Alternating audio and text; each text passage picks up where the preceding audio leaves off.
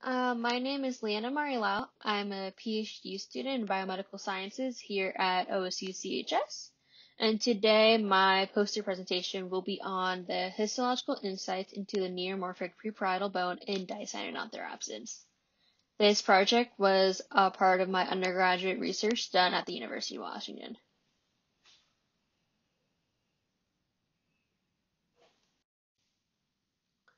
So dicynodonts are ancient mammal relatives from the Middle Permian to the late Triassic, which was about 260 to 210 million years ago. They're pretty funny looking animals as you can see from the drawing on the right, and they're well known for their beaks and two upper tusks.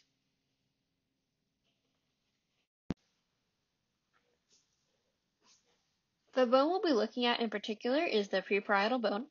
It's the element colored in black on the image on the right. It's a neomorphic or novel bone, meaning that it did not appear previously in evolution in earlier synapsids.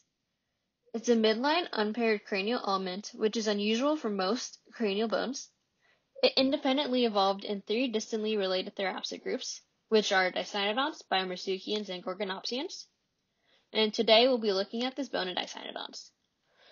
The preparietal has not been histologically investigated before, so it could reveal information about how it developed. This project used a method of paleohistology, which is cutting into fossils to create thin sections to look at under the microscope. Through this, we can see microanatomy to infer development, growth, and other biological features. In this project, we have two partial dicynodont skull roofs, which are pictured on the right. We made five coronal thin sections through each skull roof, and the red lines show approximately where the cuts are made.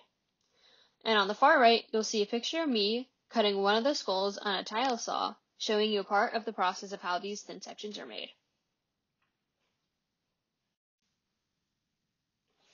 Here we have a couple of the thin sections that we made.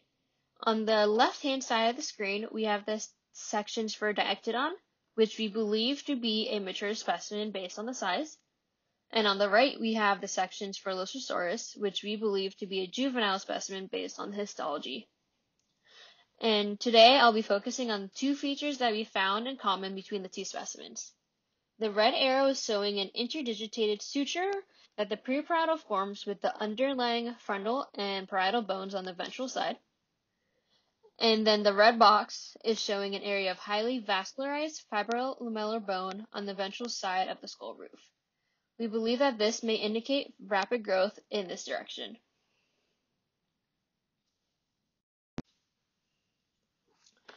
So to wrap up, we believe that these features in common could be shared ancestral characteristics of the Dicynodont preparietal. Future histologic work should be done on the other therapsid preparietals to see what histologic features that those have. If the other preparietals have similar histologic characteristics, it could be evidence of homology. If not, then should we really be calling this bone the preparietal in all three of these groups? And this is my acknowledgments. Thank you to everyone listed here. My contact information is at the bottom of the page, so feel free to email me with any questions you may have. Thank you for listening and have a nice day.